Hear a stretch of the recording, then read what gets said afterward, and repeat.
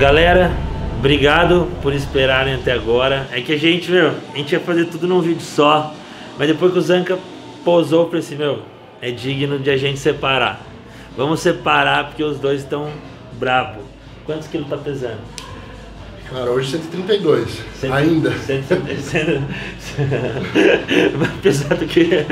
Mais pesado que muita gente. Comecei a preparação com 138, tô com 132. É, eu queria falar uma coisa. Eu já fui competir mundial na Rússia, já fui competir, velho, muita competição no leste europeu. Você sabe que os caras são muito grandes. E quando eu entrei na academia e vi você, velho, eu fiquei assustado.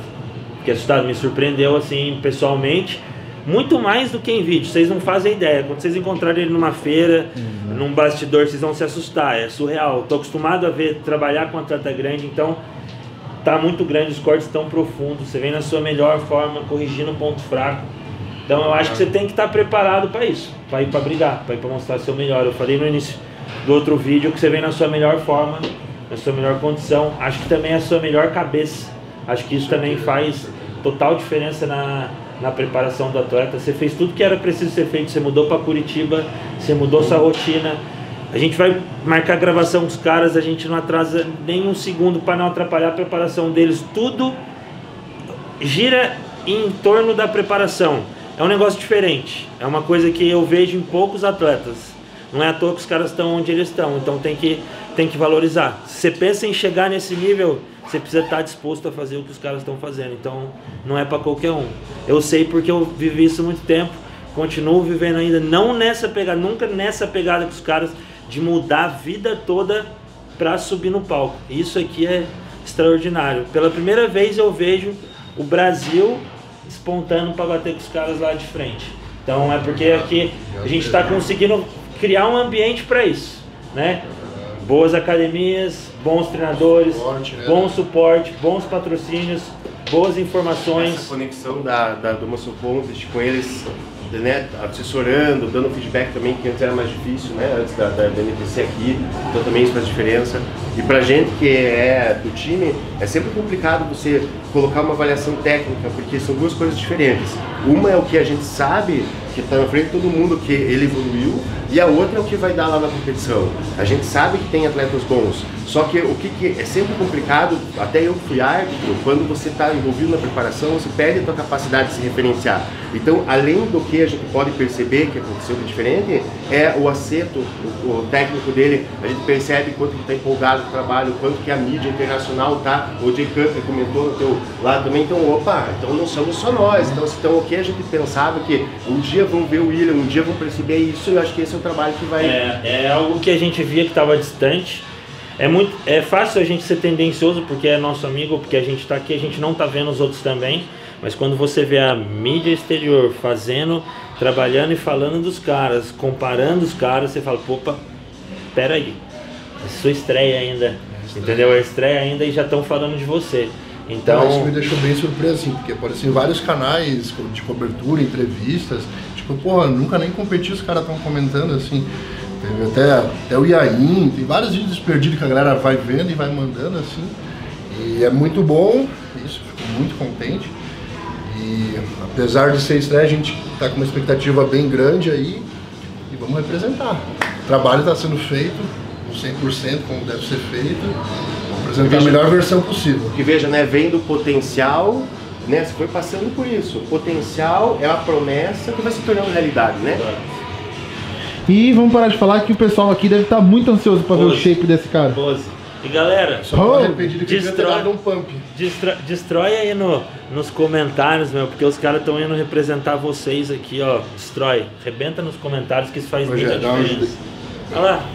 Olha lá, precisa de assistente pra, pra tirar a roupa. E mesmo assim é difícil. Não, e olha aqui, ó, olha o que, que sai aqui, ó. Não é banho aqui, ó. Cupim. O casaco é pequeno. O quê? Cupim. Cupim. Peito de cupim no corpo. Vamos, Eloy. Mano do céu, velho. 134.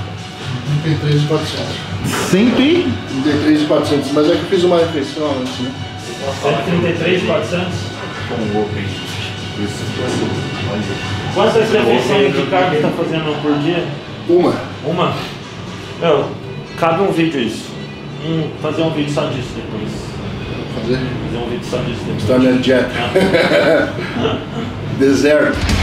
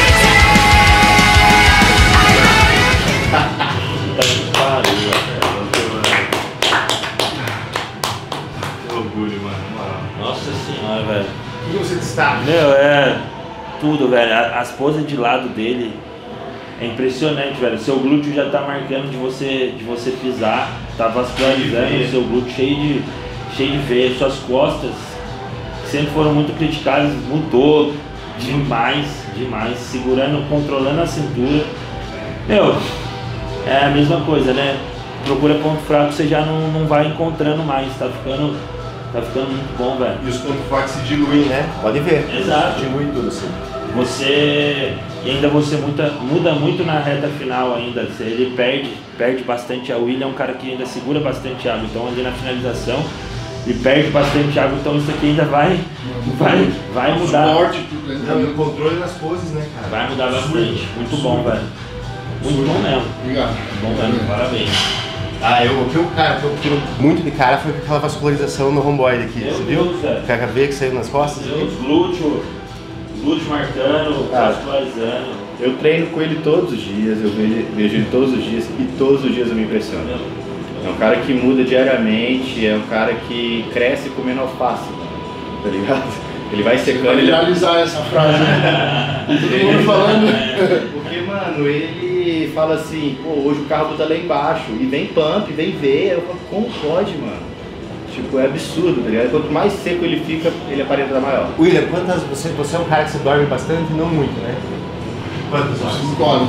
Olha, isso é interessante, cara, porque muita gente fica preso nisso. O cara tem uma rotina que dorme pouco e ele acha que ele nunca vai conseguir ser bodybuilder. Só que veja, se você manipular a tua fisiologia, o cara dorme 5 horas. Interessante isso. Vamos trabalhar, né? Exato. Ainda não. Tá incrível. O esporte ainda não banca todas. mas, ainda. Mas assim, essa é a intenção. Essa é a intenção. É um A gente dia. vai chegar lá, Exato. Você- Já tinha que trabalhar muito mais, já tinha que dar Exato. muitas aulas de personal para conseguir competir. Hoje você já consegue. Só já ter- consultoria. já tem um carro melhor, já consegue morar melhor, já consegue é, ter um. Dar o acerto. Exato, entendeu? Você consegue ter um treinador, você consegue viajar. Então assim, o atleta, o esporte antes, o atleta era lembrado por aquele cara largado que não tinha dinheiro para nada e não conseguia fazer nada. Hoje já mudou muito. E a ideia é mudar ainda mais. Daqui a cinco anos, a gente vai estar fazendo um vídeo ainda, vamos estar competindo ainda, vou mostrar para vocês o tanto que mudou. Aí você vai ver o quanto que esse esporte tem potencial. Vocês viram o UFC, tanto que cresceu? O bodybuilder tem potencial para isso. Depende da gente e depende de vocês que acompanham respeitar o trabalho que a gente faz, respeitar esses caras aí que levam informação, motivação e representam o país que vocês vivem. Show, né? Falou É tudo, hein? Que é isso? É, e Nós, só gratidão, hein? É, e o Pacho lá, né? Que não pôde vir hoje. E o Pacho, pô, É, bem lembrar do paizão o aí, paizão enfatizar, porque É, o trabalho que ele vem fazendo com a gente, cara, é algo totalmente diferenciado, algo que eu não vi com nenhuma outra pessoa, acho que o William também não. É um cara extremamente dedicado e assim, o amor que ele tem pra parada foi o que a gente mais se identificou. Foi o que Exato. uniu a gente, foi a pessoa que a gente viu e falou assim, mano, esse ama até mais do que eu. É um cara que respira o bodybuilding. O, o Pacho é aquilo que eu falo. O cara precisa acreditar tanto nos sonhos igual os caras e faz diferença. Ele fala pra gente, né? ele fala, a frase que ele fala assim, filhão, o seu sonho é meu sonho. Exato. Isso Não, faz. ele, ele, quando a gente tá meio cabisbaixo, a gente troca uma ideia com ele, você sai assim, nossa, não, vou ganhar o Olímpia.